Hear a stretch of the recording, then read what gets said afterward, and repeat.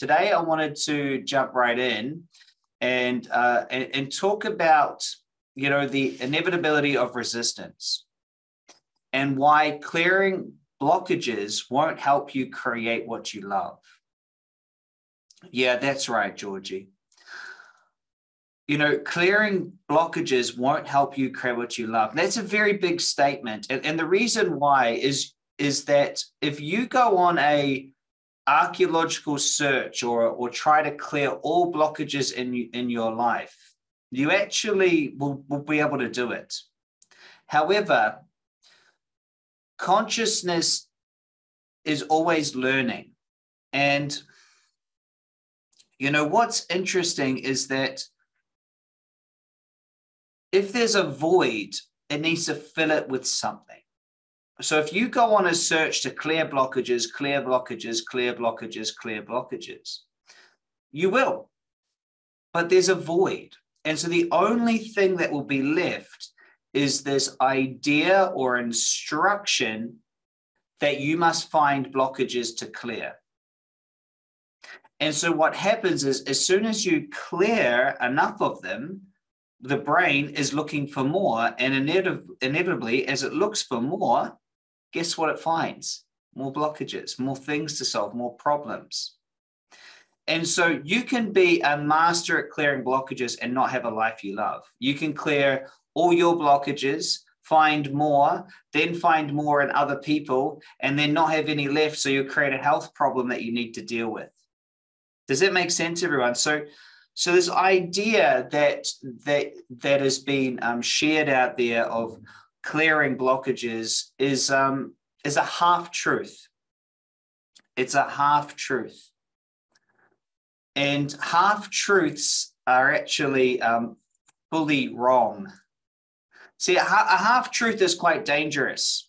Does that make sense? Like half half truth, because it because it, it is truthful. It is good to not have blockages, right? If you want to go create what you what you like, yeah. Beatrice Beatrice has, has beat me to it. A half truth is a full lie, because the the the the challenge is is that you can spend a lifetime clearing blockages, and you just keep finding more and finding more and finding more. And so a half truth is a full lie. Uh, there, there, there is a lot of truth in the idea that if you've got blockages, you do need to shift them and let them go. That is a that is very truthful, very useful. However, however, you must do something else, which is step into a creative reality.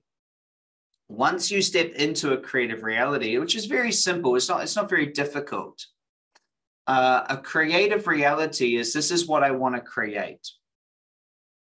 There's only three aspects to a creative reality. One, what is it I want to create? Two, where am I now? And three, what is the action that I must take?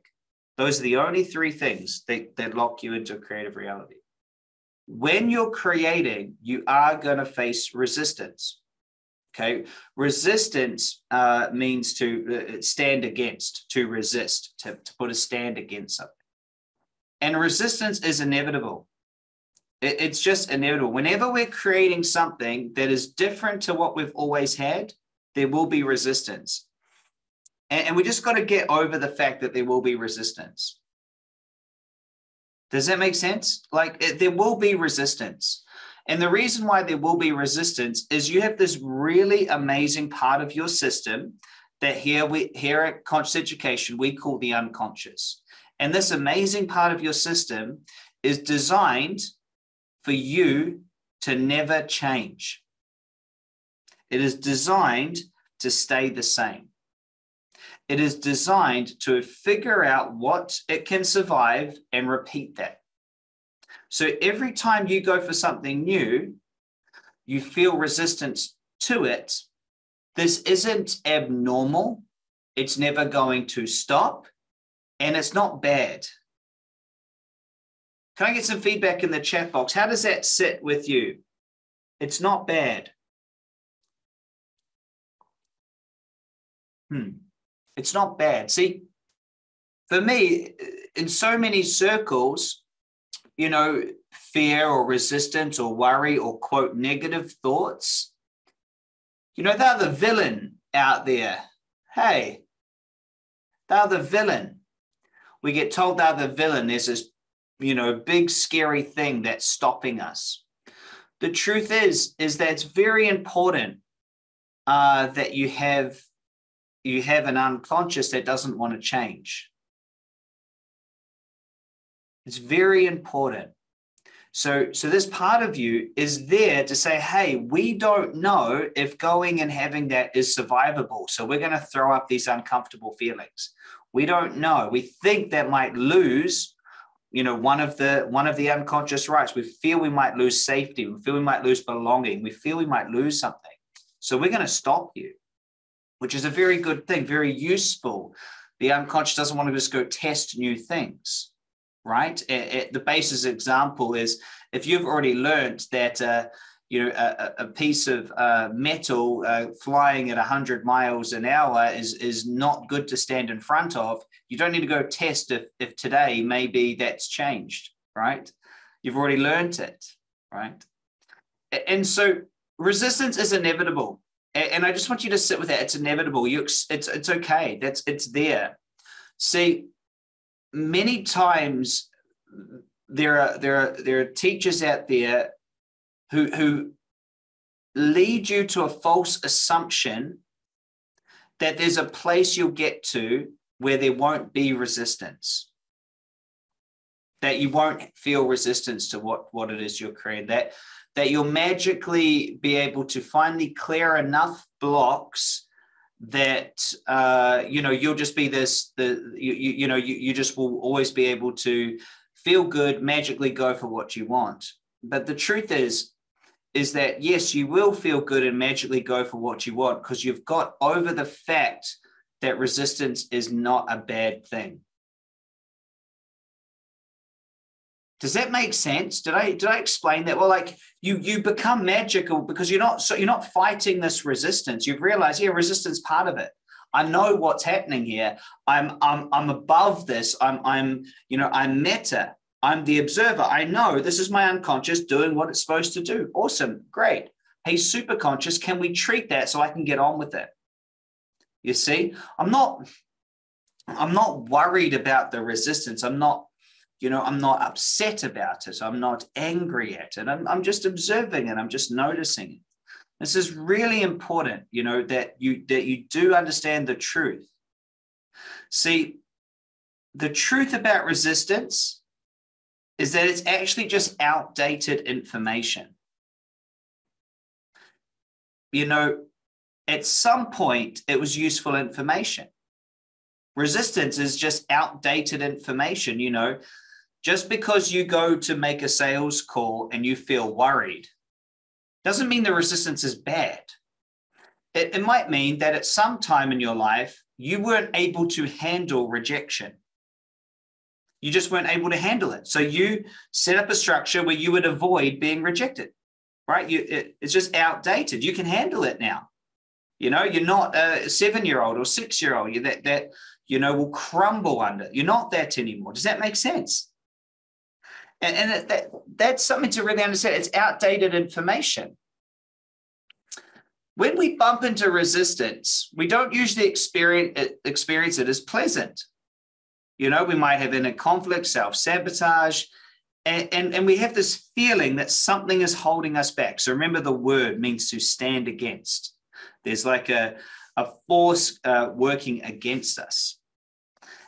what, what we must do is to truly know that this is going to be part of it. And and and when you are creating is to use our five steps here use these tools to go wow awesome. This is what i choose. This is i know i feel this way and i want to let these things go so that you know just like carving a statue out of uh, out of rock or sculpting it you know you let go of what you don't need anymore you know and that that's that's how it works. And so there's nothing wrong with the resistance. In fact our resistance is created by us for us.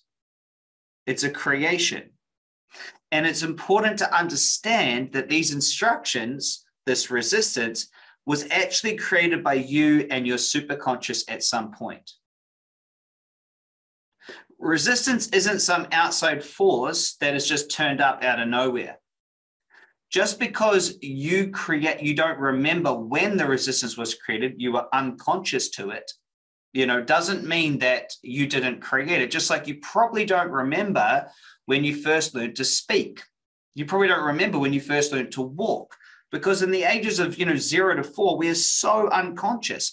You know, self-conscious doesn't really come online to seven years old. So, so we are unconscious. So, so we don't remember creating it because we're living unconsciously.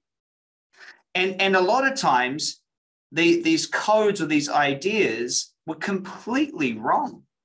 You know, can I just get some feedback? Who's done some work in Magnetic Mind where we've found a moment and you go, wow, that was just a three year old's idea and I'm still living it today and it doesn't make any sense at all. That's not the truth. You know, I had a, a mother who was 21 and, and a father who was 24, and they were doing the best they can. And, and, you know, and here I am thinking it was all about me you know and we go and, and, so you know we, we make this decision to to shut down and be quiet but it had nothing to do with reality right and so on on on this with this premise i want you to get that resistance is just part of the game you know a lot of a lot of people say to me oh chris can we go get this work and you know go go help children with it? I'm like well you know probably but but also let the kid be a kid. And and what i've noticed is is that we need to fall from grace and and and and have a human experience and and make up ideas about how the world is. And then we get to reevaluate them through our own adult mind because we're not broken.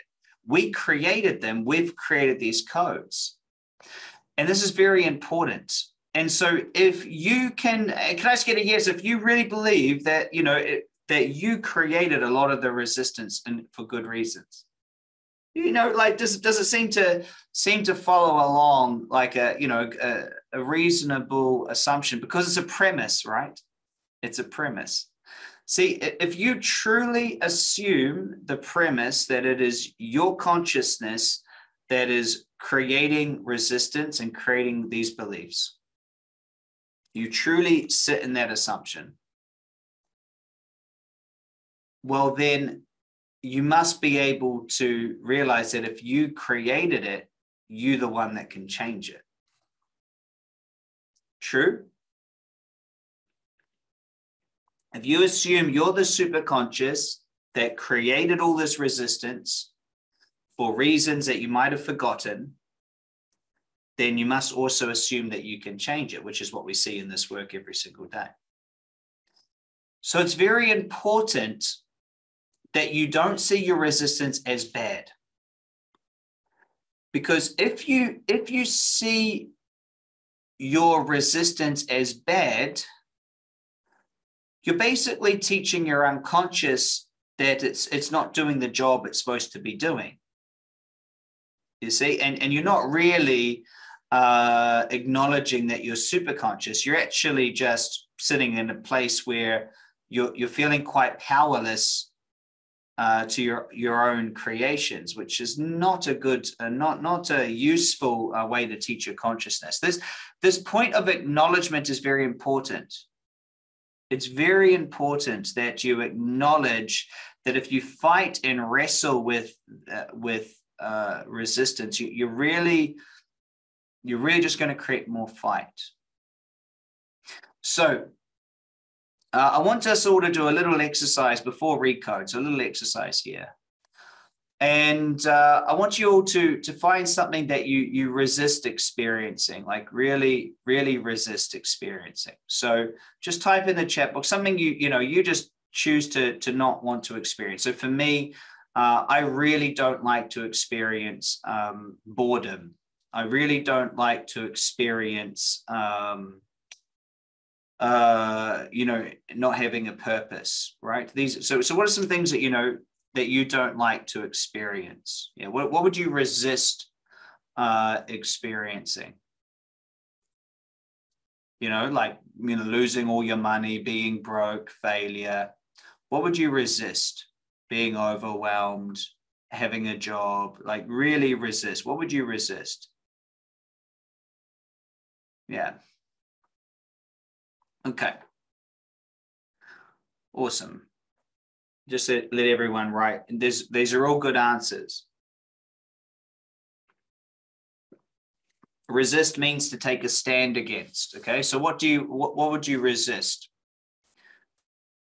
So we've all put a lot of things down that we resist in out for ourselves, but what about in the world? You know, we resist. Uh, you know, what do we resist out there? You know, that people get taken advantage of.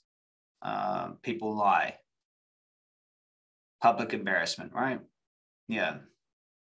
Climate change. Yeah. Homelessness. Yeah. So just you know, there's lots of lots of resist. Yeah. Theft. Yeah. Unfairness. So uh, whether you've picked one or you're just uh, going to plagiarize from what I've said or someone else in there, it doesn't matter. So just just pick something that you you happy to resist. Okay, it doesn't matter. Uh, it really doesn't matter. Okay. So what I'd like you to do, if you've if you if you've got a notebook, is just write that you know thing down, or you can just do it in your mind. Like I resist um, being broken, misunderstood, or I resist struggling, I resist heartbreak. Just just pick one for me. Okay, you know, just one. It's just a fun exercise, just so you know. Cool. So resist doing something hard, resist failing, right? Just, just write that down. Okay, cool. And so what I'd like you to do is, is that that's the thing that you resist. I want you right now, so don't don't type in the chat box. I want you to actively resist that thing. Like in your body, resist that thing being true. Like resist it. Like get get yourself into a state where you really, you know, you don't want that to happen. Really resist it. Like, you know, just like get annoyed that that even is a thing that could exist you know really you know deny its being like you know just truly deny that that thing could even exist like truly resist it that you know resist it with everything like put your abdominals into it resist the heck out of it make sure you use your glutes like absolutely use your whole body to bloody resist it like resist that thing come back to me uh, when the when the when you finish resisting it and notice notice how it happened. Notice what happened.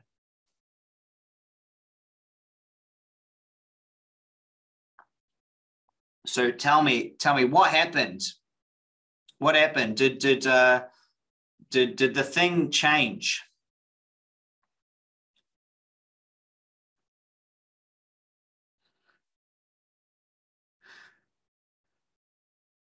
And so as you were resisting it, how did where was your focus?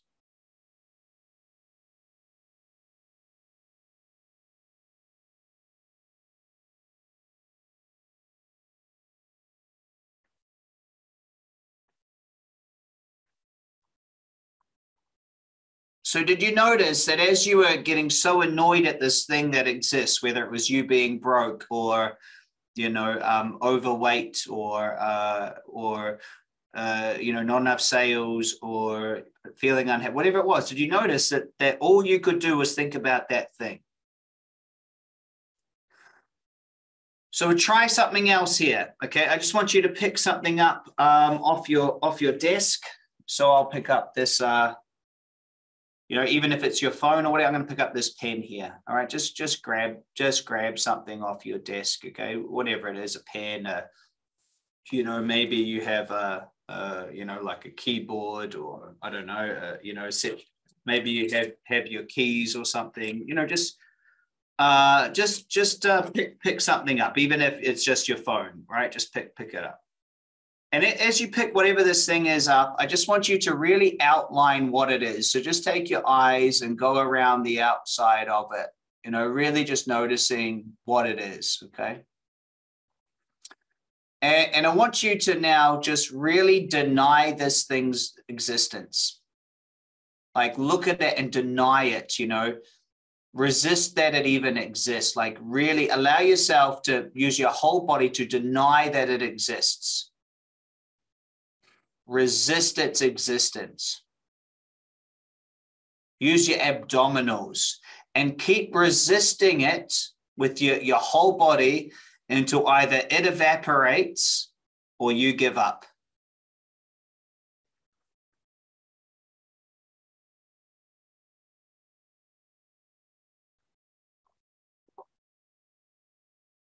You give up yet?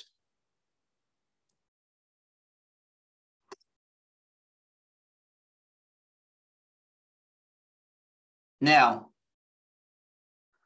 when you're doing uh, resistance, doesn't it feel like you've taken some sort of action? Like it feels like progress, doesn't it? As you're resisting either this object or this thing, and like, can I just get some feedback? Doesn't it feel like you've made some progress? Right? Uh, you should all give up, by the way. Uh, you know, it's not going to evaporate. Doesn't it feel like a little bit of progress? Like a part of you just feels like you made some progress. See, we all have this idea that getting angry at what we don't want to experience is better than not getting angry at it. Getting pissed off or getting worried about it, we feel like that's actually useful. We feel like that's useful. You know, I don't want this. We feel like that's useful. We feel like this is a this is an idea that there's something there and we don't want it. We feel like that's a useful action. But did anyone notice that uh, in the two examples that nothing changed? Nothing changed except you just got in your eyesight the one thing you don't want. Nothing really changed.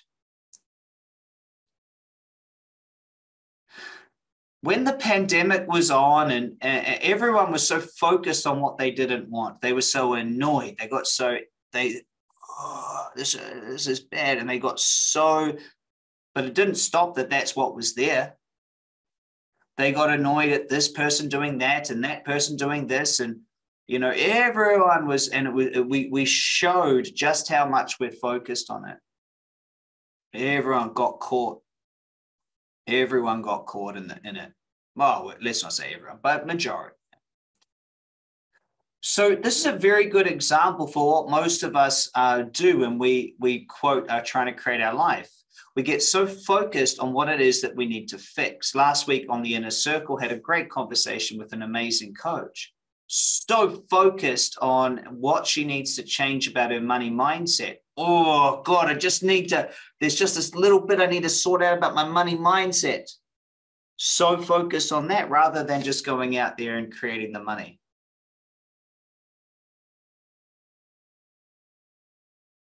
Josephine, you're the only one. The, the pen didn't disappear. Go have a look. I promise you the pen is still there. Even if you felt that it disappeared, I, I I'll I'll bet a thousand dollars the pen's still there. And, and so does everyone see this conditioning that we get ourselves into? So when you go back to what you wrote down, okay, so you wrote down whatever it was. What did we all write down before? We wrote down like you know, um, you know, poverty or sickness, like the thing that we resist, right? And and we know just like with the pen or whatever what was on your your your desk uh, when you focus on it it didn't change. Right? We know that. So whatever you wrote down before i just want you to cross it out and then write down what you would like. I want you just to cross it out and just notice what you would like so instead of injustice, you would like justice. Instead of betrayal, you would like trust. Instead of, uh, you know, instead of this, wouldn't you want this? So just write down what you would like it, would like.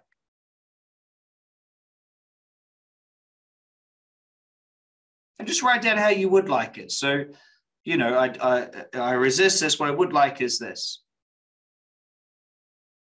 What I would like is this. Oh, hey, Curry. Glad you're here.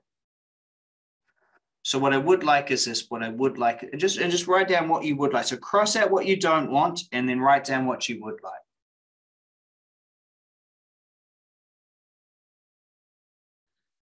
Beautiful. And so once you've written down what you would like, go ahead and focus 100% on what you would like really step into it, experience it, you know, notice what life would be like if you had it. See it as it complete. Find a time in the future where you're living that moment. What would you think about? What would you be? Breathe into it. Like find a moment and breathe into it. Become it. Become it. Become that the thing that you'd like it to be. Notice how it is and experience it. Find one or two moments in the future, the, the very recent future, that you will experience when it's done. Completely focus on it. Step into it with your whole body. Really, with your whole body, feel it. Find times when you're doing that. How would your smile be? How would you breathe?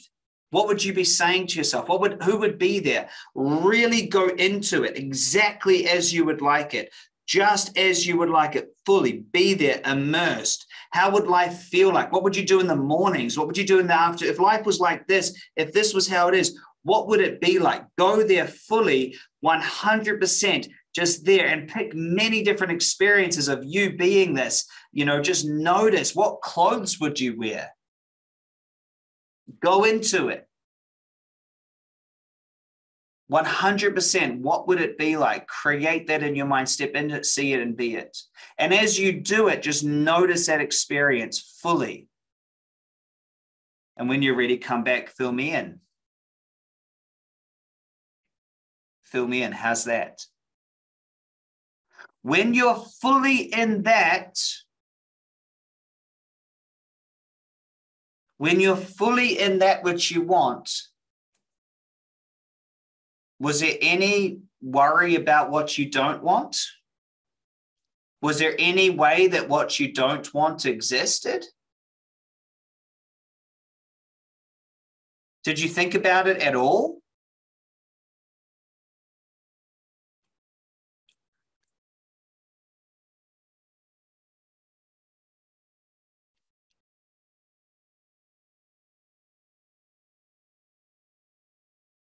So as you go into the creation, you create, and as you create what you want, that which you do not want will not exist anymore. It, but if you resist what you don't want, that which you resist must always stay alive. So you go into it. And this is step one of our five steps step one is you go fully into it. 100% you build it in your mind. Step two is you notice what you don't want. We don't spiritually bypass it. We don't ignore it. What we know is what we don't want is just the starting point of the journey to what we do want. We go into how we want it to be how it's going to be then we come back to the now. So when we look at, you know, the pandemic or someone that's uh, when it was all wrong, we look at how we want it to be. Then we go, well, right now, this is the reality. Right now, this is where I am. I want this body. It's going to be like this. And right now, I'm here. And that is the creative structure. And so do you see the the how trivial it is to focus on on what we don't want and talk about it and moan about it. All we do is keep it alive and give it energy. But all of us have been trained that we must talk about what we don't want. We must be annoyed about what we don't want. We must get uh, frustrated at what we don't want because that's how we're going to shift it. We feel like we're going to beat it. We're going to smack it into smithereens. We feel like that's useful. Is it true? Can I get it true if, if like, you know, unconsciously we've all been taught you know, from our parents and their parents and society that that you you must get annoyed at what you don't want. And it's it's just it's it's just ridiculous. It's just ridiculous. Doesn't matter how annoyed you get at it. Oh, someone typed in, but Chris, can't you just get annoyed at this enough that, like a Shaolin monk, you can, you know, turn it into uh, into flames? Yeah. Well, actually, what you do is it doesn't exist because you're so busy focusing on what you do want that, like it bursts into flames, you, you create this.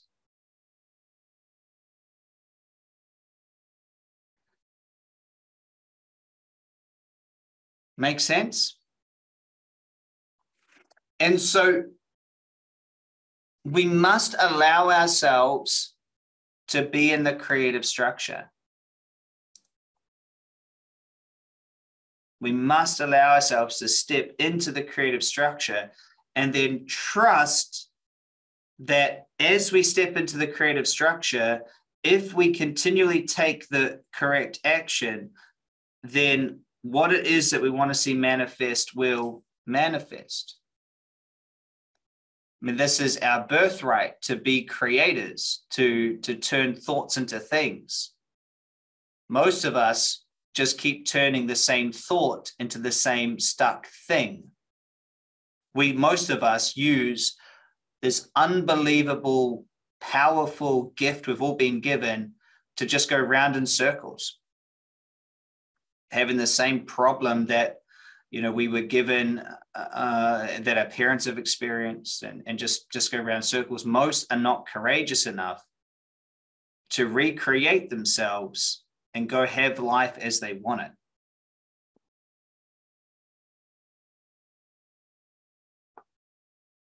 love it dalton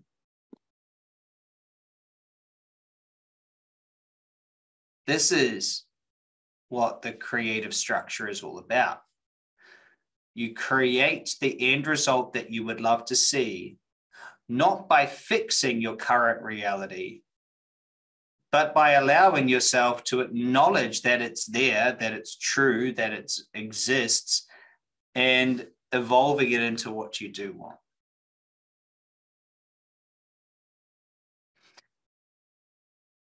When your system truly acknowledges what I've covered in this 30 minute sermonette, when you fully acknowledge this, your life will be magic.